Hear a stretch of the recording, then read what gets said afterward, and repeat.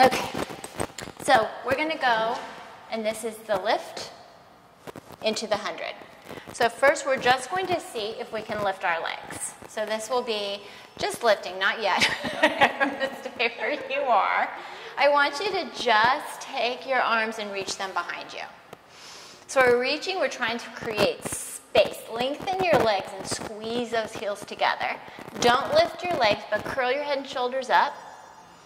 Look towards your feet and stay there.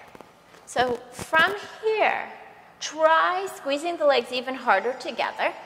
Reach your arms more. So you're really curling your shoulders up, but your back is staying down. Now keep reaching your legs and feel as if you're going to lift them, but don't. You feel how everything just fired up the whole center and then come down? And reach your arms back. Inhale. We'll do that again. So this is just called the lift. Good. Lifting, lifting. Good. Hold there.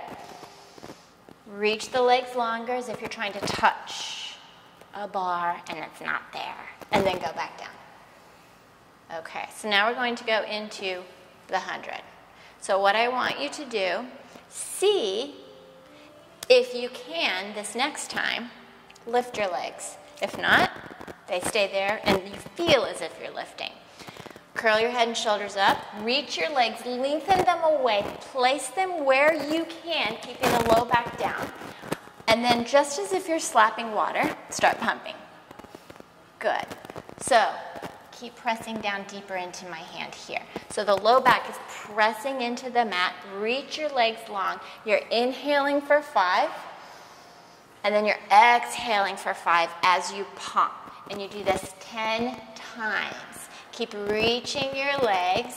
There should be no misconnection in the heels. Curl up and then pushing the abs into the back. Good. And let's just keep are you counting? I'm not counting. No one's counting. And rest. We'll just say you did 10. So it's five inhale, five exhale. Let's say that was hard to keep the legs low, then you could just lift them up higher where it feels comfortable, but we want that back connected.